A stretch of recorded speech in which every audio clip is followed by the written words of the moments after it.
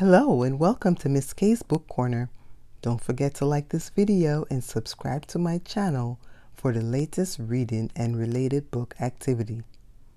The book that is in my corner today is Say Something by Peggy Moss, illustrated by Lea Lyon.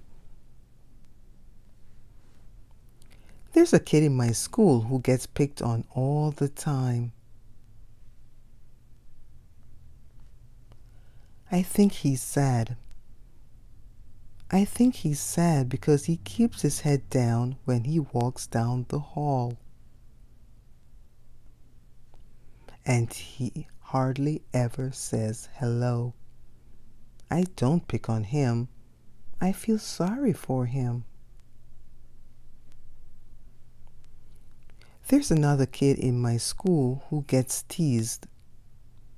He gets called names.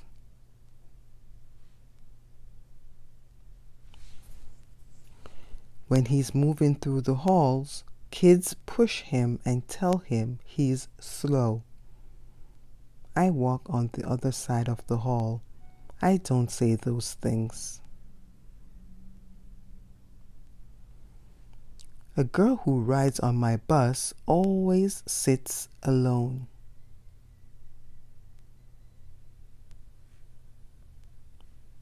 Sometimes kids throw things at her and call her names. The girls who sit behind her laugh. I don't laugh. I don't say anything.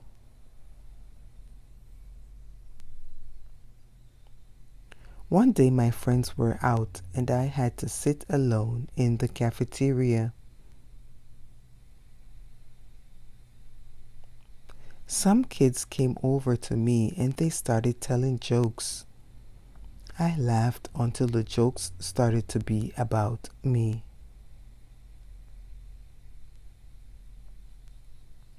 My face burned. I looked down at the table. I sat on my hands to keep them from moving so much. I tried not to cry, but it was hard not to cry and when they saw my face getting wet, the kids started laughing. I wished I could stop crying.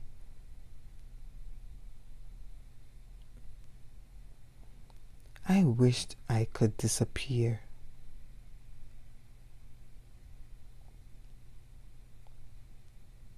When the kids left, I looked around the cafeteria. I was surprised to see that the cafeteria was full of students. There were even kids I knew sitting at the table right next to mine. They were looking at me. I could tell they felt sorry for me.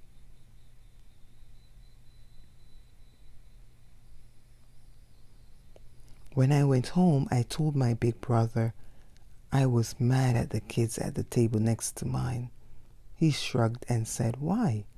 They didn't do anything. Right, I said.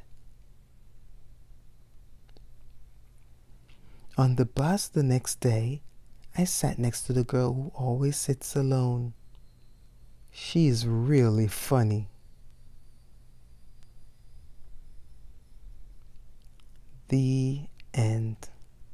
Come and join me soon at Miss K's Book Corner.